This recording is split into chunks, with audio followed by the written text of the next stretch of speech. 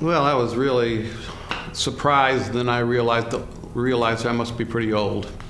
So when you're a 66 year old, it's like a lifetime award. You know, there's tremendous coaches in the Wolverine co Conference, and I guess the tiebreaker is age in this case. There was a man named Dick, How Dick Hauser when I was a Little League player, and he was a uh, minor league player who, in off season, climbed telephone poles, fell off the telephone pole, and broke his back.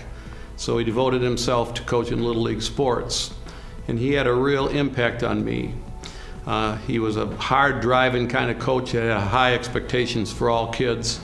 And I saw the advantages to that. So he had a tremendous impact on how I approached coaching and high expectation for kids on realizing that if you push them real hard, you're not going to break. And then later on, after I got involved in volleyball, there was a Western Michigan coach. He's in the area named Rob Buck.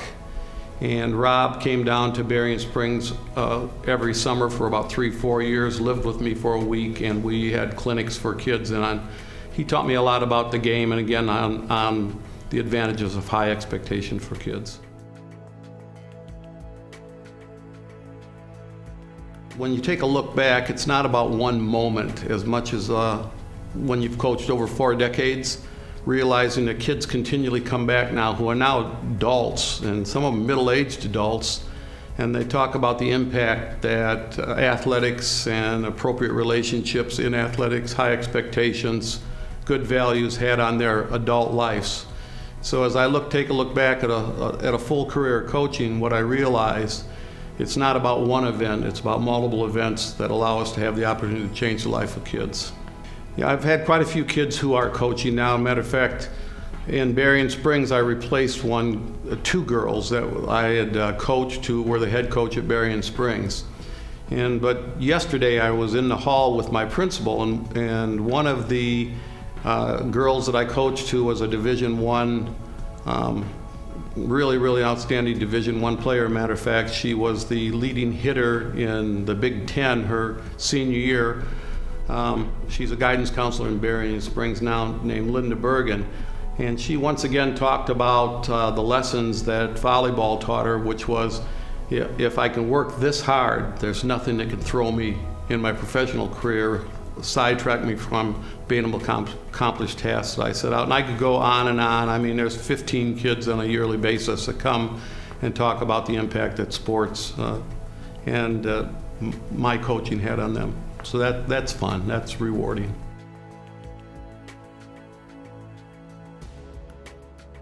And there's a lot of advice I give, you know, enjoy the ride. It's, it's absolutely fantastic. You know, uh, coaching, coaching is a, is a great profession and a great opportunity to make an impact on kids. There's a special family kind of relationship that's, that's there where you can really have some deep kind of uh, dialogue because of the relationships. But the one thing that I would say for young coaches who want to have a long and very successful career is that you never sacrifice your values.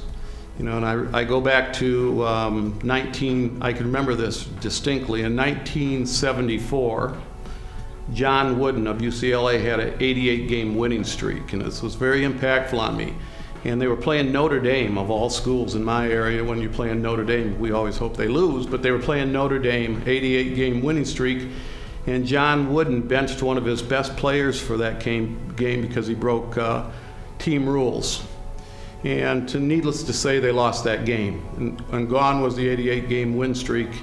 And the advice he gave or the interview that he gave on radio is the advice I'd give everybody. The reporter asked him, Hey, it must have been terribly hard for you to set this player realizing your 88 game winning streak was on the line.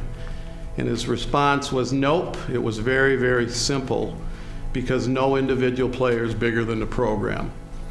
The rest of that story and how it impacted me, and I think it in, can impact young coaches, is that if your program's built on the right foundation, values, those type of things, no one player. You should never compromise what's best for the team for one individual player. Thank you for the chance to um, have such a, a, a, award. I really, really appreciate it, especially since I feel so highly about the Wolverine Conference.